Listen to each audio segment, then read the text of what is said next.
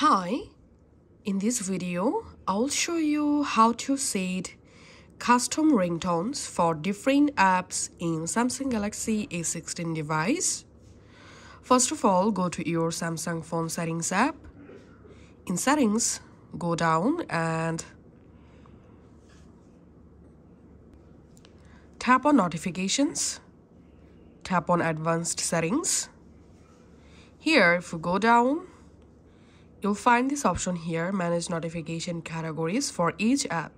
So you have to enable this option first of all.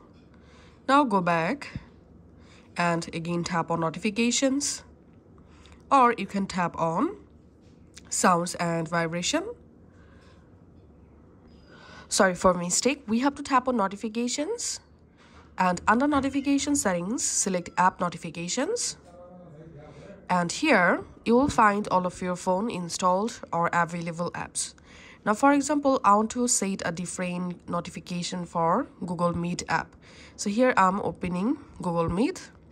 And first of all make sure to enable allow notifications and alerts. Select allow sound and vibration and notification types. You can check or uncheck any of this.